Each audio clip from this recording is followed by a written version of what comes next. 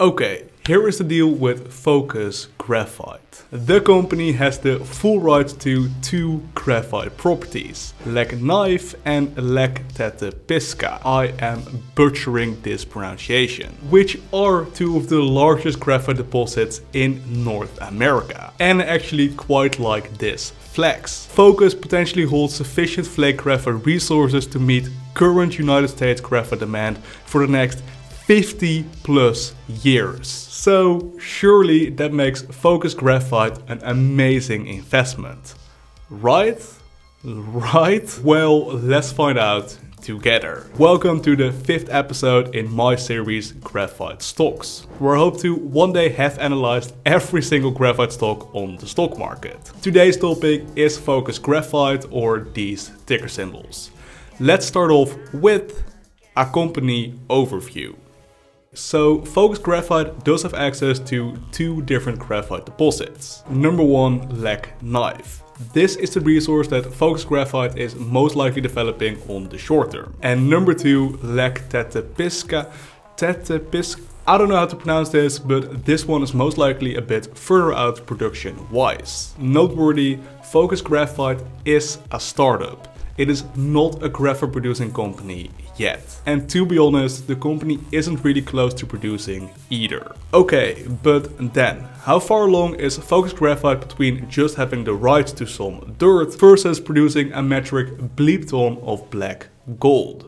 Well, for the first property, the Knify Boye, the company did prepare a feasibility study back in 2014 and it seemed to be quite favorable. And in 2021, Focus commissioned DRA Americas to update that feasibility study Bad Boy, which we are expecting in early 2023. By the way, that feasibility study is for a 45,000 ton graphite concentrate output, which should be grading at 96.6% purity for all size fractions. Important note regarding graphite sizing chisel. For traditional graphite applications, how larger flake are matters a lot. The bigger the better and the bigger the more expensive your flakes are. For electric vehicles and batteries, we do not really give a single damn about graphite flake sizing. It all needs to be pulverized and micronized anyways. Quick sidestep, but really that's all there is to Lac Knife at this moment in time. And remember, this is the graphite project that is the closest to completion for Focus Graphite. But even for this one, construction starting before the end of this year 2023 seems to be very unlikely. Maybe the company might be able to start constructing a mine in 2024 or 2025.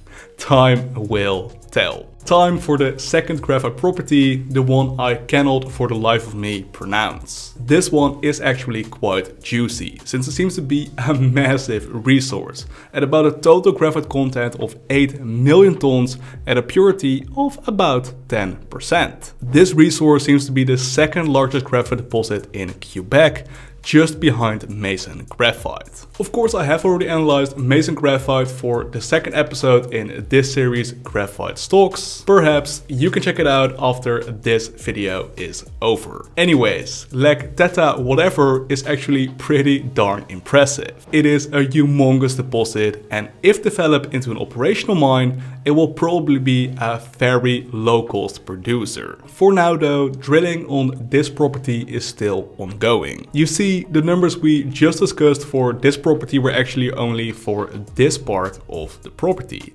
Drilling is still ongoing here and drilling is still ongoing here. So perhaps this might just become the biggest graphite deposit in the Quebec area maybe even the largest graphite deposit in North America. Again, time will tell and we will have to be patient and see what those exploration results are going to be. So that is the business. We have two graphite deposits of which one might be developed into a mine on the medium term, the other property at best is a long-term gamble. Although the second one is the most interesting one from an investment perspective because it is mega pure and also mega large. I do want to highlight real quickly that both properties are high purity. 15% on the Knify Boye and the one I cannot pronounce is at 10% plus. That is really impressive compared to some of the competition. Higher purity, assuming all metallurgical factors remain the same,